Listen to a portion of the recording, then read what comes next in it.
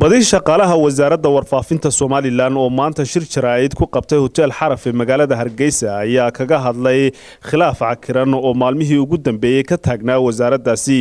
Mas'uuliyiinta iyo shaqaalaha kala duwan ee shirkan jaraa'id kaga hadlay khilaafka wasaaradda waxaa ka mid ahaa rugcadaayadii iyo mas'uuliin muddo badan ka soo shaqeeyey wasaaradda warfaafinta waxaana ay ku eedeeyeen wasiirka warfaafintu in aanu waxba ka ogeyn isku shaandhaynta lagu sameeyey shaqaalaha balse ay gacanta ku hayeen dad gaar ah oo ay ku tilmaameen in ay iyagu hawshaasi wadeen oo ay hudheello u kiraysteen taasina waxa ay sheegeen in ay baalmasan tahay nidaamka u yaalla shaqaalaha wasaaradda warfaafinta. Mas'uuliyiintaasi oo arrimahaasi ka hadlayana waxa ay yidhaahdeen. Shaandhayn la hadalhayay oo wasaaradaha lagu sameynayay waanu soo dhaweynayna horta wasiirka warfaafinta. Nin aad wax u qora oo wey wey mataqana xagga qoraalka qof mar ku fiican kule wax badan baa malaha xagga hadalka ee hoos mara. Wasiir ku-xigeenka waa soo dhaweynaynaa dadka uu magacaabay ay magacaabeenna waanu soo dhaweynaynaa wasaaraddu waa wasaaradayadii shaqaduna waa shaqadayadii. Laakiin waxa keliya oo aanu caddaynayna haddii wax laysku shaandhaynayo iyo haddii wax la kala bedelayo iyo haddii wax la soo kordhinayaba waxay ahayd in loo sinaado oo shaqaalu si isku mid a ay ugu sinaadaan waxaa dhacay in xubno ka mid a agaasimayaashii la bedeli lahaa iyo labo la taliyaashii faraha badnaa ee wasiirada ka midi inta ay hudheel karaysteen oo ay muddo joogeen ay soo qoreen liis. Aniga kanaan u abtiyahay igu dar kan ilmaadeer baanu nahay kan habeertayba yaa u dumaashiya ee igu soo dar. Dad baa la soo dalacsiiyey dadna waa laga soo reebay. Isku shaandhayn qaar naga mid ay sameeyeen oo la yidhi intaana waxaa ku sameeya intaana waxaa ku sameeya. Taasi xaq iyo dootoona may ahayn. Wasiirku waxaa wallaahi oon halkan ka caddaynaya aniga inaanu magacayga garanayn xilkaan hayaan aanu garanayn siduu markaa ii bedeli lahaa markaa wasiirkii isma anaan baranba eh waxay ahayd in laysdhex galo in la isbarto shaqada qofka ka wanaagsan maanta anaa haya berita cabdirasaaq baa haynaya axmed xuseen warsama haynaya wax alla wax ku jabani ma jirto. Horumarinteedaba. Haddii la doonayo wasaaradda warfaafintu inay horumarto microphone ammaanahan ku shaqeeya xadhig ammaanahan ku shaqeeya combyuter antivirus aan lahayn baan ku shaqeeya miisaanadeeduna waa malaayiin dollar in kuwaa lai hagaajiyay bay ahdo laydhaa markaad intaa hesho tifyada kale la tartan. Laakiin iyadoo intiiba ay baaba tahay. Haddana haddii laydhaa dhiigi cusub aynu isku shubnay hebel hebel baa dhiiggii inoo shubaya. Dee malaha dhiig a b u baahnayd wasaaraddu dhiiggii a b dahna labada qof ee isku soo sameeyey ayaa laga helay. Waxaa haddaba jira wasaaraddan warfaafinta dad iyagu fayrus ah fangas ah wasiiro ay magacaabaan agaasimayaal ama la taliyaal wax sheegta wasiir kasta oo yimaada. Cunaha isaga duuba wax kastoo khariban iyagu khariba. Shaqaalihii iyo madaxdoodii kala dhex joogsada been u kala sheega dadkii soo kala dhawaysta cid kasta cunaha isaga duuba. Si aanay u soo bixin ama aan loo ogaan inay iyagu yihiin kuwa dhibta wada.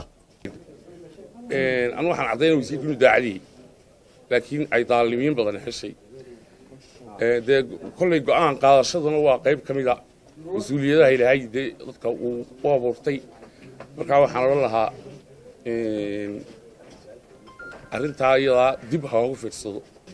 Waanu la jecelnahay dhallinyaradaasi mid ka mid oo mid kasta oo ka mid a waayo waa kuwii aan gacan qaban lahayn. Laakiin tanu doonaynaa waxa weeyaan wasaaradda warfaafintu si ay horumar u gaadho intaasoo wasiir baa la soo magacaabay. Shaqaala is haystaa la yidhaahdaa madaxdiibaa is la yidhahdaa shaqaaliyo madaxdii baa maantana waxaa laga yaabaa marka shirkeyga jarayd la arko in la yidhahdo wasaaradda warfaafineed isma haysato wasaarad warfaafineed shaqaalaha imika markay halkaa ka wada baxaan.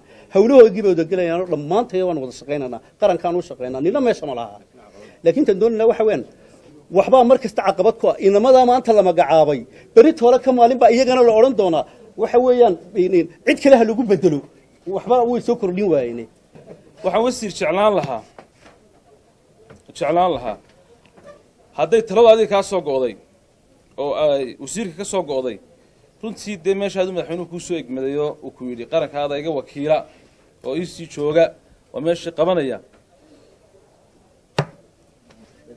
Inay sideeda tahay oo sidaa ay ku ahaato. Haddii laakiin sida la arkaya nimanis hayo oo meesha rag waaweyn oon ugu nimi oo wasaaradna qaarkood aasaaseen oo qaarkoodna cigaal la bilaabeen qaarkoodna duurka ka soo hadlayeen markay baashu taallay.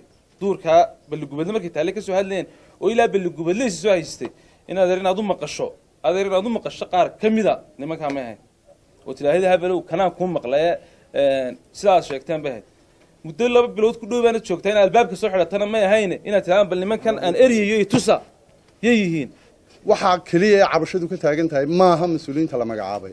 Waxa weeye wasiirka iyo wasiir ku-xigeenku xaq bay u leeyihiin inay dadka iyagu kala xushaan siday u kala garanayaan iyo siday u kala u darseen iyo siday u aqoon ugu kala xusheen iyo siday u kala karti badan yihiin inay ugu xushaan weeye taasina waatuu madaxweynuhu soo egmaday laakiin wasiirada wasaaradda loo soo magacaabay kasakoo cabashada ay dhegaysteen qof ay garanayaan ma jiro waxay kala tashadeen kuwii barasiteka ahaa ee wasaaradda ku noolaa ee dadka dheecaankooda cuni jiray.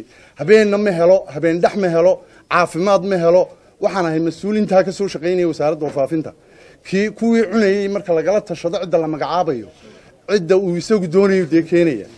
Waxa weeye mudane wasiir dee haddii masku heleen oo marxalad iyo minid iyo maalmo ay ku haysteen dee alxamdulilah rabbilcaalamiin waanu aragnaa dhitadii iyo dhaydii annagaa dee wasaaraddii iyo qarankuba u dhamaya dee. Qaranka iyo wasaaraddiibaa dhammaysa oo hareeraha haysataa waxaanu leenahun mudane wasiir dadka leeriyey ee agaasimo waaxeedyada ahaa ee madax qaybeedyada ahaa dee way soo dhaweynaya waa kuwa hadlo way ku faraxsan yihiin laakiin dhiigga cusub aad sheegayso dee dhiiggii shiliishkii bar baa hadhay bar shiliishka weli in baa ku harsan. Intaa shiliishka ku jirta mudane wasiir iyo wasiir ku-xigeen intaa shiliishka ku hadhay dee ka afuuf. Mudane wasiir waanu kuu mahadnaqaynaa kuwa aad magacaawdayna waanu soo dhowaynaynaa waanuna kula shaqaynaynaa. Sidii aanu wasiiradii hore ula shaqaynay ee kaa horreyey baanu kula shaqaynaa. Afartaa qof waa sunta wasaaradda ka qaba wasiir. Dhowaan ayay ahayd markii wasiirka warfaafinta somalilan uu sameeyey isku shaandhayn waaxyaha kala duwan ee wasaaraddaasi inkastoo aanu la xidhiidhnay mas'uuliyiinta wasaaraddaasi haddana noomay suuro gelin telefoonadooda oo aanay ka jawaabin. Maxamed xuseen jaamac star t v hargeysa